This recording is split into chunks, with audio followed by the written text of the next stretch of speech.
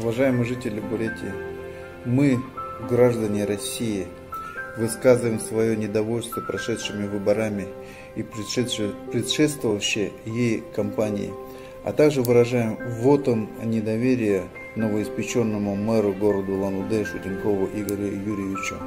Мы против репрессий, которые охватили наш город, свободу политзаключенным. Задержания были все незаконными. Прямо сейчас, в это время, проходит согласованный митинг в 43-м квартале, это в парке Юбилейный. Надеюсь, что здравый смысл восторжествует. Власть должна повернуться к народу. Уважаемые коллеги из Росгвардии, прошу вас не выполнять заведомо преступные приказы. Вы же чьи-то дети, вы чьи-то братья, сестры, мужья. Пожалуйста, не превышайте своих полномочий. Можете не выполнять заведомо преступные приказы. Считаю, что в нашей республике, в нашем городе можно все разрешить мирным путем, путем переговоров.